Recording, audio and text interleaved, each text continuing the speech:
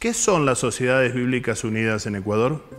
Somos el rostro local ecuatoriano de una fraternidad mundial que agrupa a más de 200 oficinas nacionales que perseguimos esta visión, que la Biblia sea fuente de esperanza viva para todos.